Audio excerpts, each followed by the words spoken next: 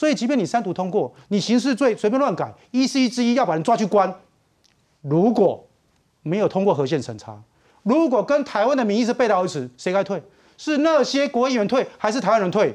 我跟大家讲，立委做只做四年，但是我们身为台湾人守护台湾是生生世世的问题。所以我奉劝所有人一定要记得，十万人、千万人，这是台湾的怒吼，我们的国家会被我们坚强的守住，大家要有信心。所以，明宇怎么来看 WHA 现在再度的拒绝台湾进入？所以你看，今天台湾民意基金会一个最新的民调，哈，就是说针对这个赖总赖总统在总统就职的时候他所说的中华民国跟中华人民共和国互不隶属，有高达七成四的民众是赞成赞成这样子的说法。可是我会觉得说，这应该要百分之百吧？谁谁会谁会认为说中华民国跟中华民国人民共和国是互相隶属的？我们本来就是不同的地方嘛。所以你看，民意是非常支持这样子的一个说法。那这再来啦，就是说这次 WHO 我们八度被拒绝扣关了嘛？那当然大家会觉得中国二吧，还有最近艺人的这些事情，没有一个这个国家的艺人你会认，就是说他唱歌之前还要先表述说我是哪国人啊？说 有美国人说我是美国人，然后有菲律宾人说我需要表态说我是菲律宾人嘛？只有中国这种二吧的国家会这样做，所以这两件事情会让中国。这个让台湾的明星跟中国会越来越远啊。所以，妹妹怎么来看 WTA 你的观察，来简单跟观众朋友来叙述一下。没有有谭德赛当秘书长，我其实不意外，但是我要叫大家不要去急哦。其实台湾已经得道多助，过去台湾是世界的边陲，可是什么时候开始？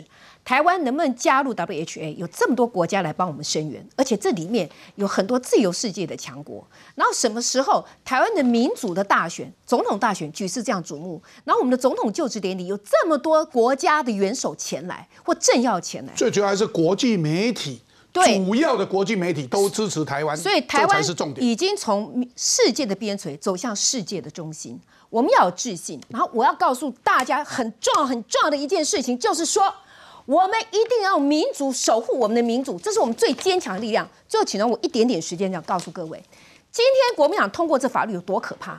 他的听证权、他的调查权，他全部给予全国每一个人民。各位，你可以想象吗？台湾现在努力在发展无人机。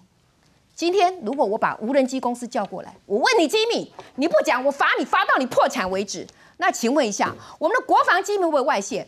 更可怕的是，外国会不会从此不敢卖武器给我们？因为可能国防机密外泄，国会到处有马文君们，甚至于如果因为机密外泄，因为种种被认为我们台湾是跟中国站在一起，我们成为台中国供应链的一环，台湾如果被制裁，我们怎么办？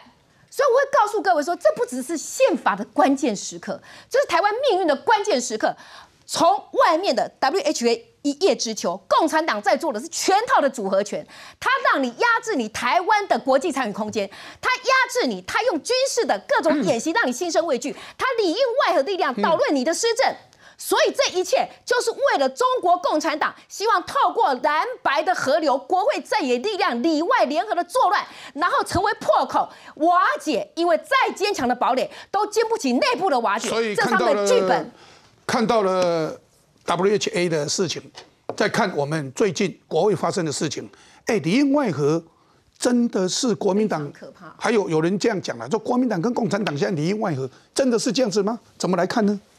这个事实上就是如此嘛，因为昨天肖旭成这个马英九的办公室主任也非常奇怪啊，明明就在国会改革的法案吵得不不可开交，大家都要求国民党、民进、民众党。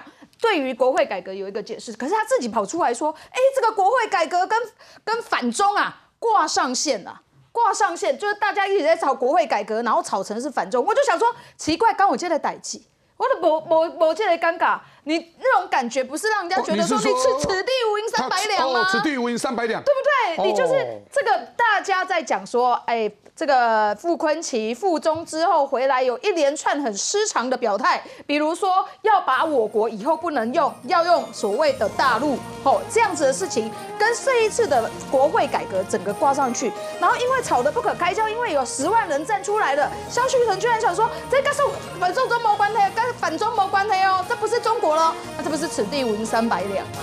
哦，然后另外嘞，这个艺人被表态、被逼迫表态的事情越来越多嘛。今天早上已经统计有二十二个艺人要逼被逼迫要表态，不然就要被封杀呢。